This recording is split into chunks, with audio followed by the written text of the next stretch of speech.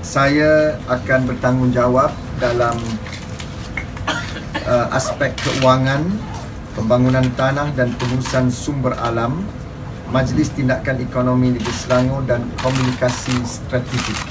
Uh, dalam pembentukan Kerajaan Negeri Selangor ini, 70% adalah muka-muka baru. Uh, ini tidak bermakna yang lama tidak memberi sumbangan. Namun saya yakin dan percaya tenaga dan idea baru perlu dikemukakan kerana Selangor ini sebuah negeri yang progresif, yang dinamik kita perlukan satu tenaga yang kuat dan pengalaman pimpinan lama juga amat penting dan gabungan yang lama dan baru itu pastinya akan dapat membantu kerajaan negeri untuk melaksanakan tugas dengan lebih efektif dan besar.